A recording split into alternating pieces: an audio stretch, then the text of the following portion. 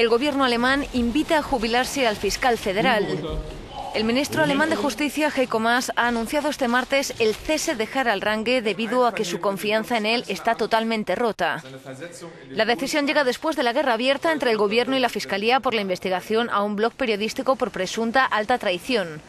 La Cancillería defendía la libertad de prensa, un derecho intocable en Alemania, y criticó el trabajo del fiscal que se defendió cargando contra el ejecutivo de Angela Merkel. Influir en un caso cuyos resultados pueden parecer poco oportunos es una intromisión intolerable en la independencia del Poder Judicial. Rang investigaba a los dos periodistas que dirigían el portal Nespolitik, en el que habían publicado varios documentos de los servicios secretos alemanes sobre la vigilancia en Internet y el análisis de perfiles radicales. Estamos un poco molestos ya que las investigaciones contra nosotros por traición cambian cada día. Ayer la canciller dijo que no creía que la investigación fuera correcta, que no había una razón, al menos no respecto a la acusación de traición.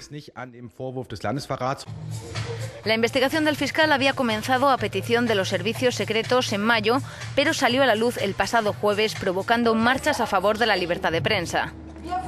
Por su parte, la Federación Alemana de Jueces ha expresado su respaldo a la labor del ya exfiscal federal.